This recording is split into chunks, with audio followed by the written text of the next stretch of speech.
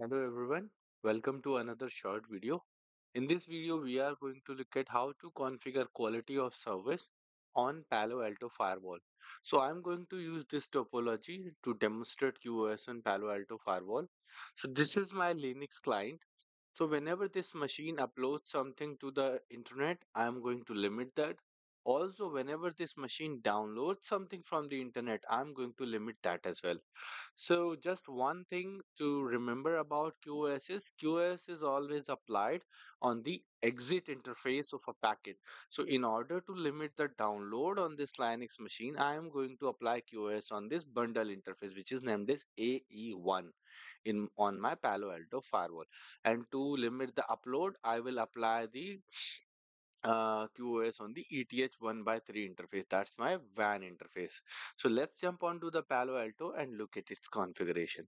So here is my Palo Alto. First thing I have to do is create a QoS profile.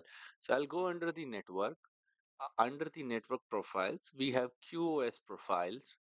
So let's create uh, two profiles. I'll create one for upload, one for download. So let me first create the upload profile.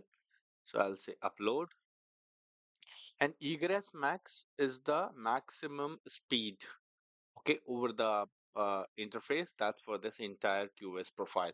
And egress guaranteed is the guaranteed speed. Now you need to define uh, a class and the priority of the class and what's the egress max for that class and what's the egress guaranteed for the class so above the egress guaranteed speed, all the traffic is forwarded based on the best effort delivery.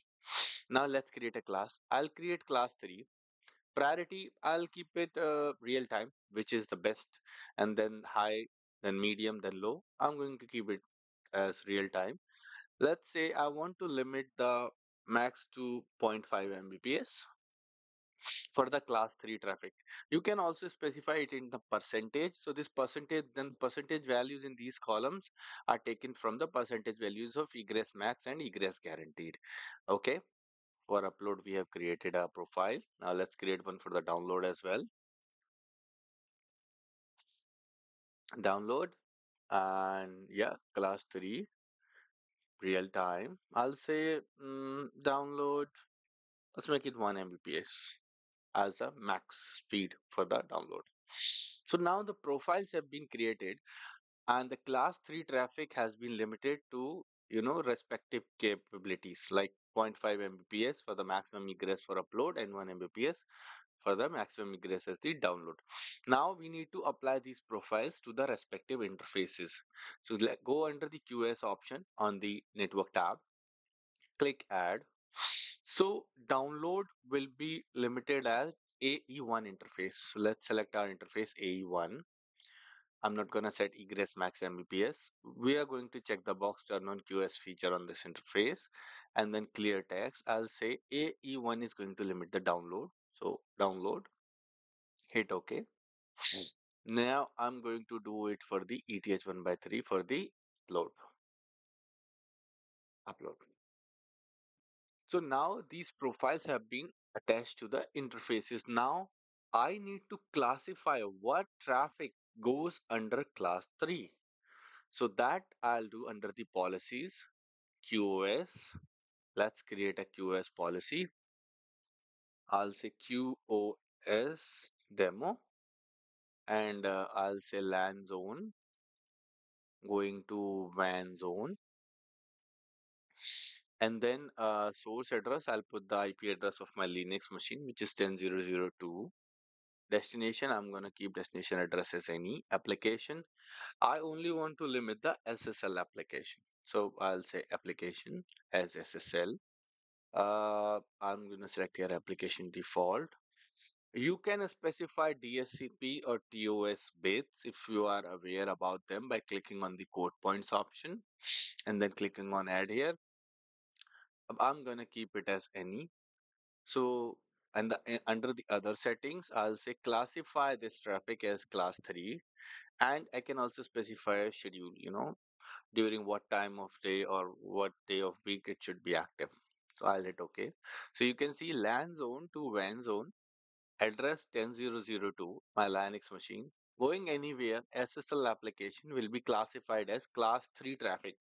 And then I have applied the limit on the class 3 traffic under the QoS profile. You can see class 3 is limited for upload this and for download this. Now let's commit our changes.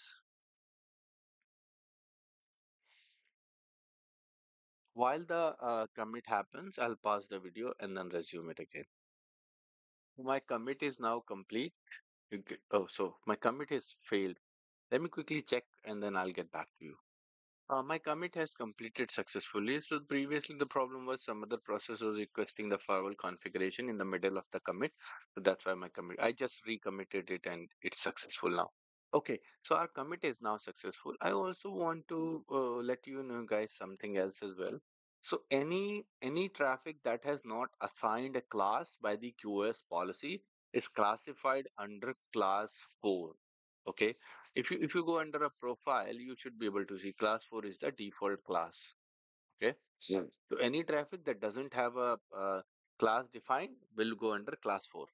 So now I'll go under network QoS. I'll stay there. Now let's go to the Linux machine. I'm going to use Azure Speed.com website in order to do upload and the download test.